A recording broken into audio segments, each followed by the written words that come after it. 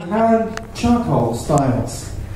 He's an independent game developer, and after working as a professional on three successful games as a designer, fate intervened to push him towards independent development. In the intervening three years, he's developed eight games and numerous prototypes over a variety of platforms. His games have been featured in many places, including print magazines in Russia, blogs in America, and competitions in China. Please welcome Alan Styles.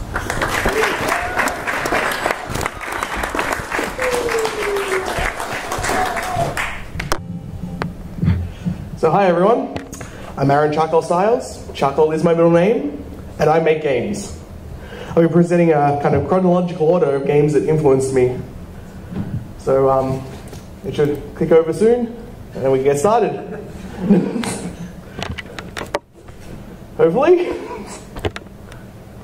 Okay, so some of my first memories are of uh, games on our Commodore 64. So when I was very young, we had a Commodore 64 with many, many games, most of them pirated. And International Soccer was one of the ones that I played quite often. The AI was very, very bad in it, and I would intentionally thrash the AI um, quite often, 20 to 0. Um, and it would make me feel like a sporting god, which is something I couldn't do in real life being a hemophiliac. Another game that we played quite often was Gauntlet.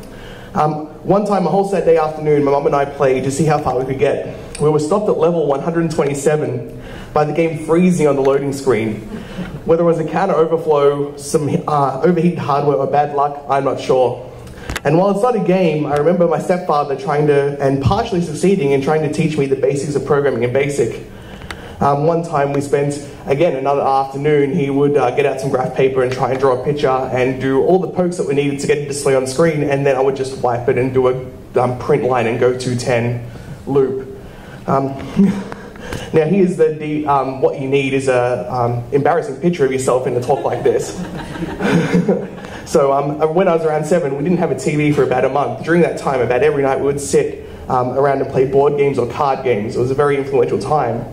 Um, one of the games that I, um, one after Sunday afternoon, I played Pop-Up Pirate with my grandfather.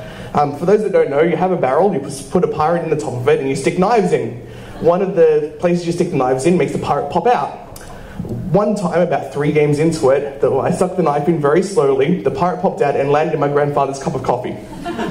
Splashed everywhere, and we just laughed for like 10 minutes on end. And of course, we played lots of Monopoly. Though I think the love of Monopoly rubbed off my brother more than I.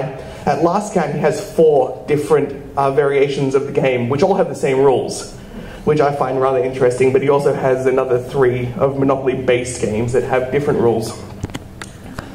So not too long after that, we got a Tandy SL1000, which was an IBM clone. A big game for me on that was King's Quest III. Um, exploring the same eight rooms and three outdoor areas was kind of the limit in that because I could never get down the mountain. There was a bit that was blocked that you couldn't see and you needed to go up, otherwise you'd fall to your death. I could never ever get past that. Another big game was Alley Cat. With a simple four colors and a little bit of beeps and bloops, I played this game often. Looking back now, the movement of the cat was very rigid, but when I was playing it, the animation gave me the feeling that it was a sort of a real cat prowling along the fences and clotheslines, eating mouse, more mice, and going into windows and eating fish out of bowls. And again, as is a recurring theme, I programmed in BASIC. This time was MS Basic, and I made games that were basically no more, nothing more than basic text adventures or even just glorified spreadsheets with a little bit of story. But the big thing was, I made them. Not too long after that, high school started, and a game store opened up near the uh, public library. Not too long after it opened, they had an import Nintendo 64 with an import Mario 64. So I went to the library very often. but amazingly, I didn't actually turn in much hard, homework. I'm sure you can guess what happened there. So not too long after that, my mum decided that to govern my use over um, technology like that, she would buy me Nintendo 64.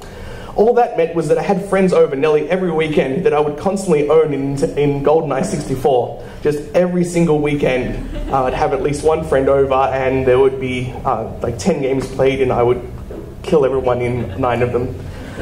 Not too long after that, um, a science slash IT slash maths teacher, teacher talked to my mum and said, hey, you should buy Aaron a new computer. That was and some dial-up internet. That was really just so the teacher and I could play Total Annihilation against each other on the internet a few times a week. but this was the first game that I actually started modding and made maps for.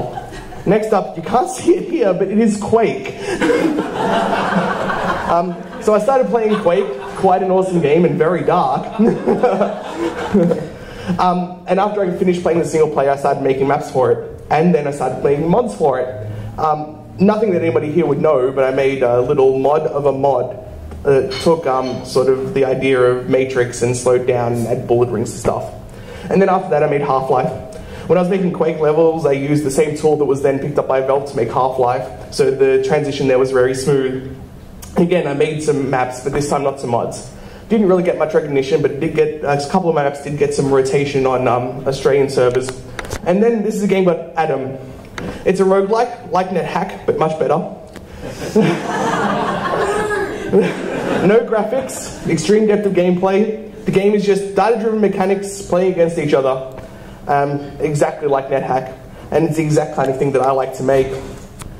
So nowadays I'm influenced by a great many games. If you look at my games folder on the right, well your left, um, it has a whole heap of indie games, and my Steam, you see maybe about a third of it there, and has a whole heap of games, both indie and you know full commercial games.